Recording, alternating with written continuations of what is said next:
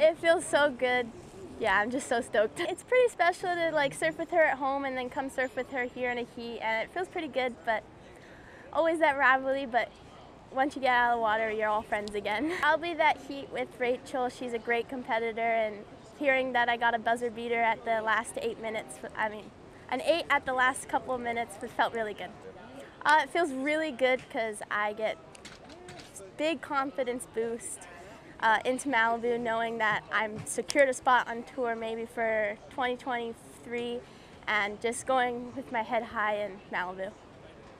The waves actually ended up being really fun. Um, I say that just because the day before it was a little sketchy, it was like closing out, but the waves were really, really fun. And it's, it's nice to kind of get like a little warm-up contest before heading to Malibu. Um, you know, if you don't compete for a while, you always get little jitters. So I felt like, you know, a, I got that out of the way. So it feels good.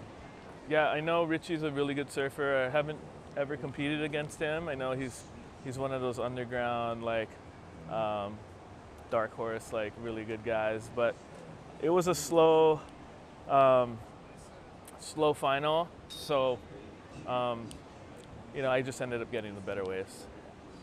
Super excited. I feel like my boards are working better than ever, and Malibu is my favorite wave. So. Um, I'm, I'm really excited to, to head to Malibu and hopefully surf well.